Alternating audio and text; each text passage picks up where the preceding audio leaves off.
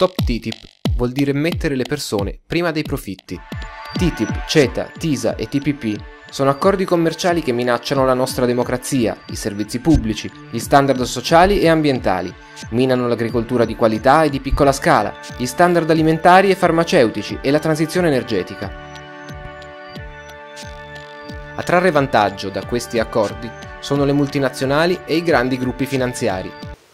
Cittadini, enti locali, parlamenti, governi, interi stati esautorati dalle scelte economiche, messe nelle mani di organismi controllati da multinazionali e gruppi finanziari, violando i diritti dei lavoratori, la tutela dell'ambiente e la sicurezza alimentare, demolendo servizi pubblici e beni comuni. Per tali ragioni, espresse dalla campagna Stop TTIP, promotrice della manifestazione del 7 maggio a Roma, va respinto il partenariato transatlantico su commercio e investimenti, negoziato segretamente tra USA e UE.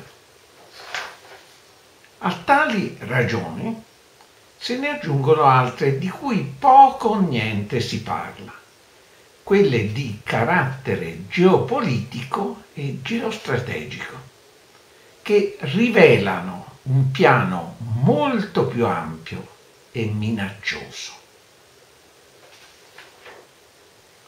L'ambasciatore USA presso la UE, Anthony Gardner, insiste che vi sono essenziali ragioni geostrategiche per concludere l'accordo quali siano tali ragioni lo dice lo US National Intelligence Council.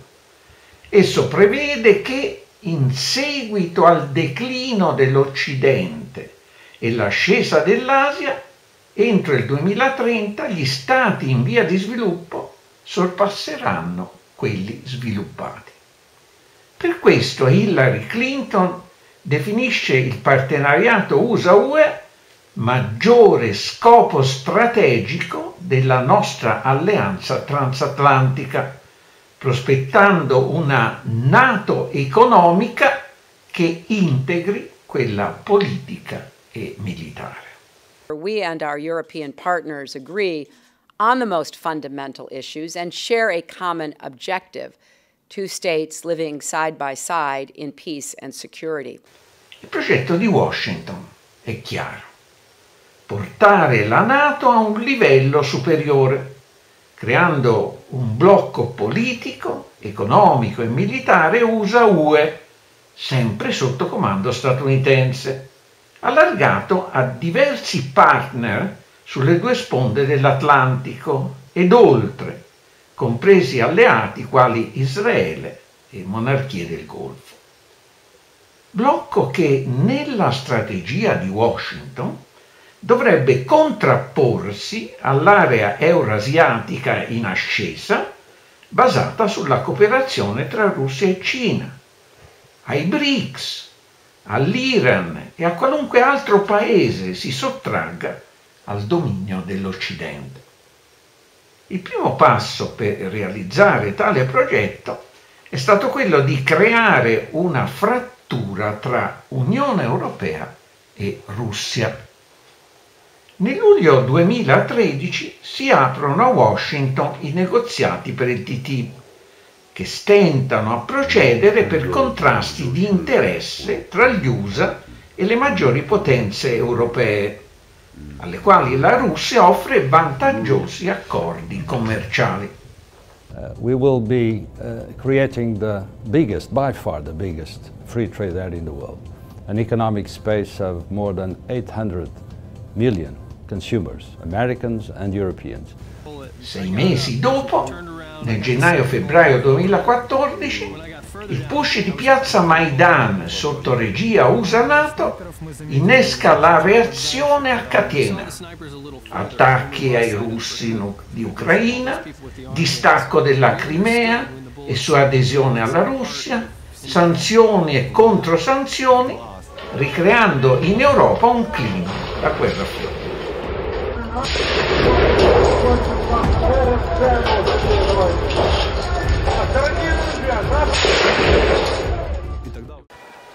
Contemporaneamente i paesi della UE vengono messi sotto pressione da flussi migratori provocati dalle guerre USA-NATO, Libia, Siria, cui essi hanno partecipato.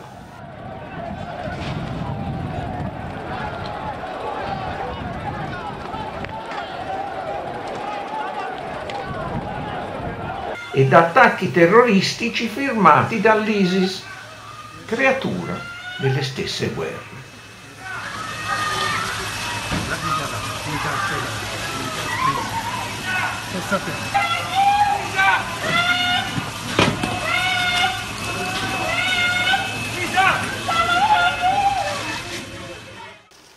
In questa Europa divisa da muri di contenimento dei flussi migratori, in cui si diffonde la psicosi da stato di assedio, gli USA lanciano la più grande operazione militare dalla fine della guerra fredda, schierando a ridosso della Russia cacciabombardieri e navi da guerra a capacità nucleare.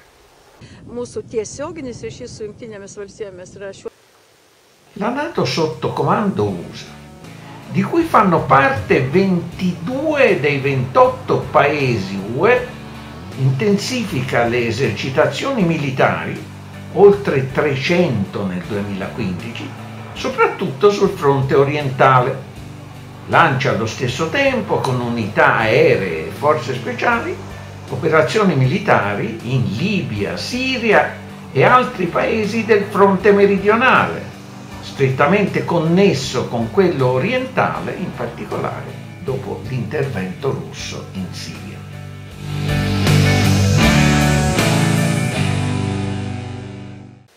Tutto ciò favorisce il progetto di Washington di creare un blocco politico, economico e militare USA-UE, progetto che ha l'incondizionato consenso dell'Italia oltre che dei paesi dell'est legati più agli USA che alla UE.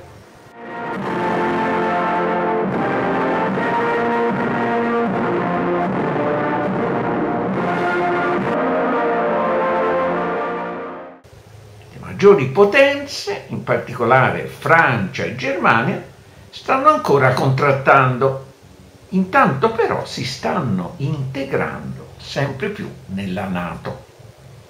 Il Parlamento francese ha adottato il 7 aprile un protocollo che autorizza l'installazione sul proprio territorio di comandi e basi NATO, installazione che la Francia aveva rifiutato nel 1966. La Germania, riporta The Spiegel, è disponibile a inviare truppe in Lituania per rafforzare lo schieramento NATO nei paesi baltici a ridosso della Russia. La Germania, riporta sempre De Spiga, si prepara a installare una base aerea in Turchia dove già operano tornado tedeschi ufficialmente in funzione anti-ISIS, rafforzando lo schieramento NATO in quest'area di primaria importanza strategica.